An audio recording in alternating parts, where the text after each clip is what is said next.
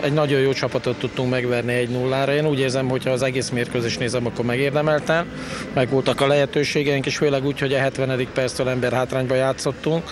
Két olyan mérkőzés utána a héten, ami azért nem volt egyszerű a Fradi és a, a videóton. Úgyhogy úgy érzem, hogy mind akaratból, mind játékból jelesre vizsgáztak a játékosaim.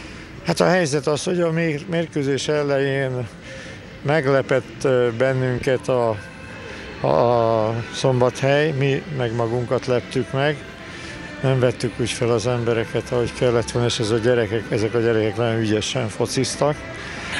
A helyzet az, hogy ott megúsztunk egy nagy helyzetet, utána a félidő közepétől úgy gondolom, hogy a játékunk elfogadható volt, alakítottunk ki helyzeteket, ez vonatkozik az egész mérkőzésre is.